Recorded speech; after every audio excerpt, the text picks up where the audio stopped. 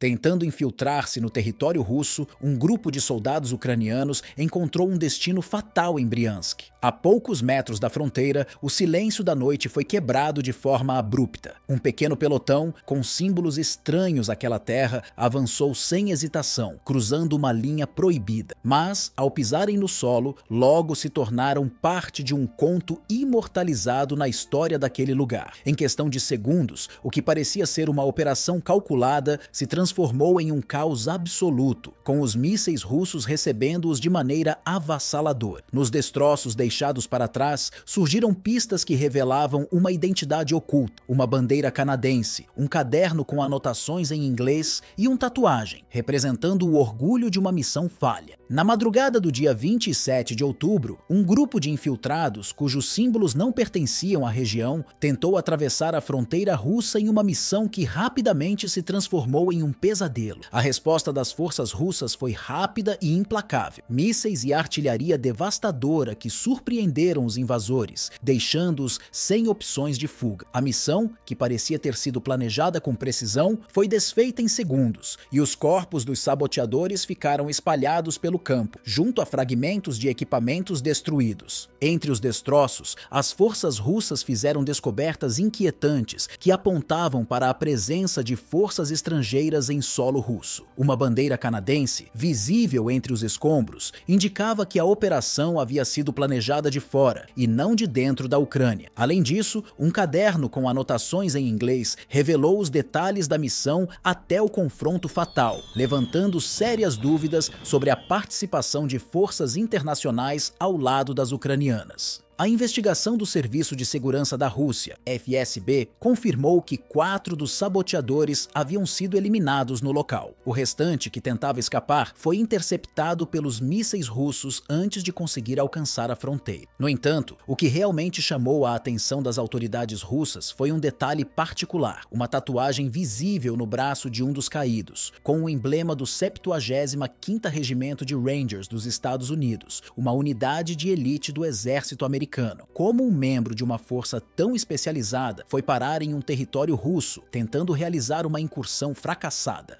A dúvida só aumentou. Além dessa descoberta surpreendente, as autoridades russas também encontraram um livro de orações em polonês, sugerindo uma possível aliança de baixo perfil e não oficial. De acordo com o FSB, os saboteadores não eram ucranianos, mas sim combatentes de outros países, o que reforçou a ideia de que a participação estrangeira no conflito está aumentando. Além dos itens pessoais, as forças russas recuperaram armamentos de alta tecnologia e equipamentos de comunicação avançada, revelando a preparação meticulosa dos envolvidos na tentativa de invasão. A região de Briansk, desde o início do conflito, tem sido alvo constante de incursões de pequenos grupos, tanto estrangeiros quanto ucranianos, que realizam sabotagens e missões de reconhecimento com o objetivo de enfraquecer a segurança russa nas áreas fronteiriças. Essas incursões, aparentemente pequenas, têm sido parte de um esforço mais amplo, no qual forças externas, muitas vezes com apoio clandestino, tentam desestabilizar as defesas russas e criar pontos de pressão nas linhas de frente. O conflito, que teve seu início em 2014, rapidamente evoluiu de uma disputa territorial local para uma guerra com profundos impactos geopolíticos e internacionais, onde a intervenção de potências estrangeiras, como a OTAN, exacerbava ainda mais a tensão existente. Com o envolvimento direto de países do Ocidente, a situação deixou de ser um simples conflito regional, refletindo um cenário de confronto indireto entre grandes potências.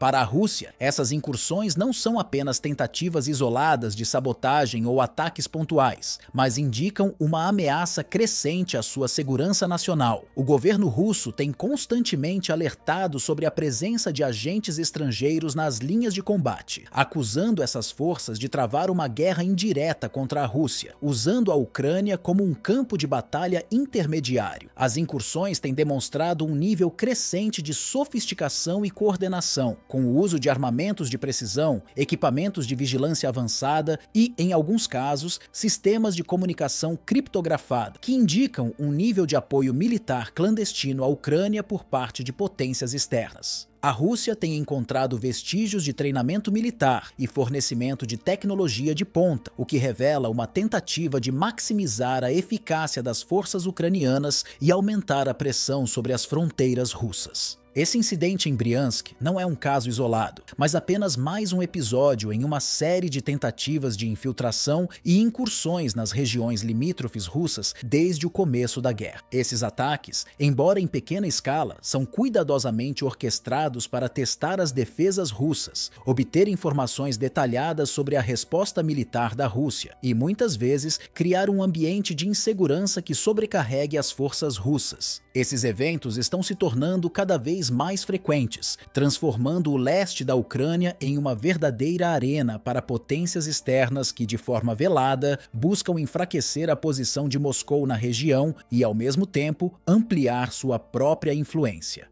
À medida que o apoio militar à Ucrânia aumenta, através de armas avançadas, treinamento especializado e recursos de inteligência, as preocupações sobre uma escalada do conflito tornam-se mais evidentes.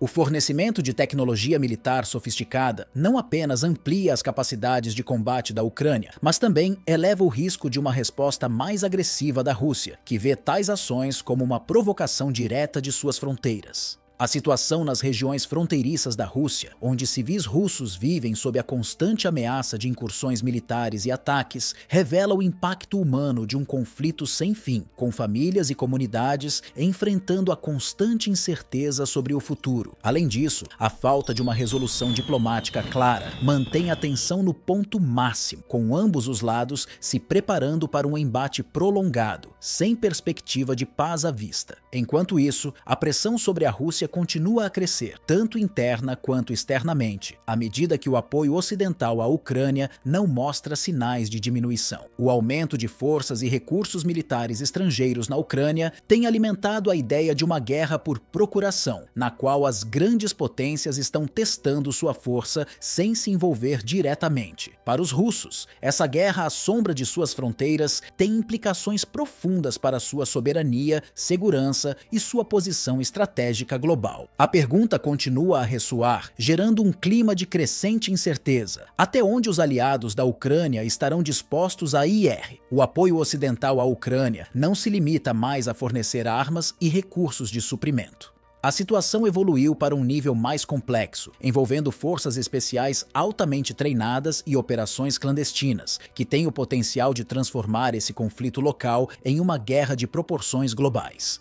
O envolvimento direto de potências estrangeiras, com treinamentos e equipamentos de ponta, apenas intensifica as tensões e faz com que o conflito ultrapasse as fronteiras da Ucrânia, ameaçando arrastar outros países e potências no que poderia se tornar um cenário de guerra em escala internacional. Para a Rússia, cada ação de invasão ou ataque contra seu território é vista não apenas como uma violação das suas fronteiras, mas como um desafio direto à sua soberania e segurança. Kremlin deixou claro que não tolerará esses ataques sem represália. A resposta de Moscou será sempre rigorosa e sem concessões, com a promessa de garantir que qualquer tentativa de desestabilizar suas fronteiras seja tratada com força implacável. Esse não é apenas um combate territorial, mas uma batalha pela proteção de sua integridade nacional, e as consequências de ultrapassar as suas linhas vermelhas podem ser mais severas do que qualquer outro jogador internacional imagina.